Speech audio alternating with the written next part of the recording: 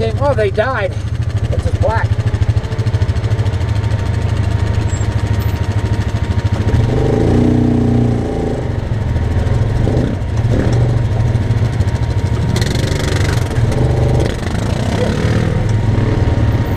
Little angle here. Green! Green!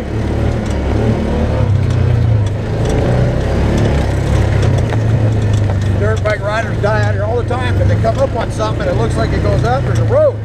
That's because people come up here and stop. But what is a drop off. And they think it's a road, drive right off the other side. This place is deadly with that. Get about five people die out here a year on dirt bikes, four wheelers, trucks. Because they don't, when they come to the top, they don't slow down.